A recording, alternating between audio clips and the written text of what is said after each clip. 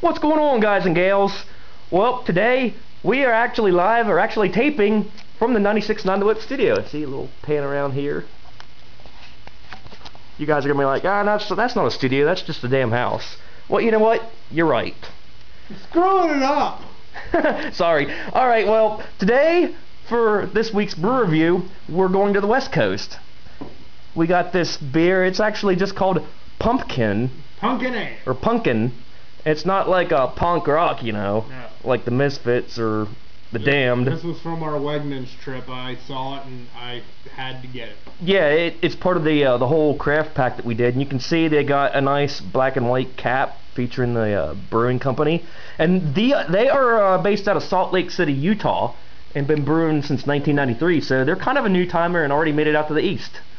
Yeah. So we've been topping them back and forth between PA and Maryland the last four reviews. So finally we we went to the West Coast. brewed with renewable power, so they are earth friendly. Oh really? That's what it says. Okay. And we came prepared this time. We have an empty cup so we could do the view test. So you can see we can do the head and body test.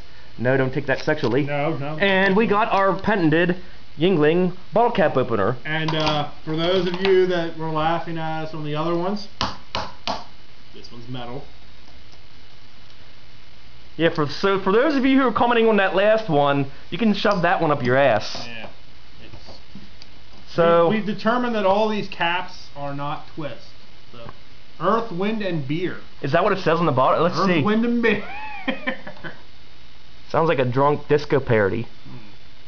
Alright, so GMC does a smell test. And let me do a Kind little of has a pumpkin smell to it, just a Right. little bit. Just a little bit. pumpkin. Pumpkin. It actually smells pretty good. Yeah. It does, you know, it smells a lot better than the last few we done here. Because At the brew we did review. like stouts last time. So. All right, so Harvest pumpkin ale. Well, since I this was my idea to buy it, and it's brewed with actual pumpkin in it too. For I, I've, I've actually tried other pumpkin flavored beers, and I must say they were pretty good. And from what the website said, there's like hints of vanilla and honey in this, so we're gonna. Okay. You Down the try hatch, it? people. Yeah, I'm gonna. I'll go first. Down the hatch and in her snatch. Sorry, that was unnecessary. I know.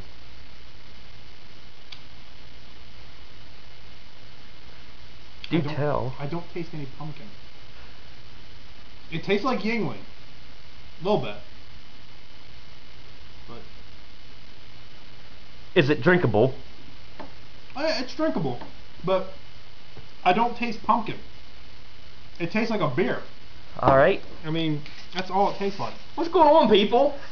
There's my ugly mug and pumpkin. Pumpkin.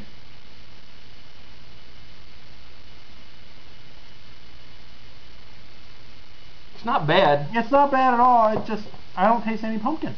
Yeah, I mean, I've I've had better, but yeah, I'd I'd drink it if it was that's all that was left in the house here. Yeah. I mean, what the hell, you know? Something Give, different. give it a second swig. See if it. all right, a little second taste, see if it tastes better. Yeah, we we do two two swigs, then we dump it in the glass and see what it looks like, and You know, it's it's a shame we didn't do this.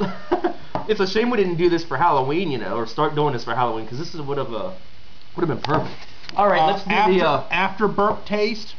Not bad. tastes about the same either way. Yeah. After, All right, so we're gonna burp do is the little good. pour test, as tradition. Let's see. As is tradition with the. It definitely the has a review. light color to it. Very much so. lot of head. Lots. Look at that. Looks like cream soda. Yes, it does. And it is taken taken forever to get that out. There of is a ton of head, and I know the women like that. That looks like styrofoam. Let's pour a little bit more in here and see what happens. But definitely a lighter beer. It's definitely, I think it's pretty tasty though. I mean, I, I'd try it again. yeah, definitely. Uh, who the hell brews this stuff? The Uh, it says on the cap You here. need a- Uinta brewing company. You, Uinta you need a brewing company in Salt Lake City, Utah. So Yeah. uh, shout out to Utah. Uinta brewing company, and uh, from what we saw on the And look at that. The head is still there. I've never seen that much head on a beer before, and the body is quite light, as you can see. Yeah, that's actually I mean, doesn't it look carbonated? it does. It looks like like I said, cream soda. but But I, I think the taste is pretty good though. I mean, I. I give it, I, I I give it a four out of five. yeah, definitely four out of five. Maybe I go three and a half, four. Oh, I've tasted the pumpkin in that. did you? Yes, let it sit in for a while and then burp, and then you'll taste the pumpkin. I'll guarantee You it. You dump most of it in the glass. Look at that. It's It's not bad. mostly foam. I'll finish off the bottle. And there we go. The bottle's done. I got to finish the glass off. That's just This foam. is a hell of a lot better than like the last three we reviewed.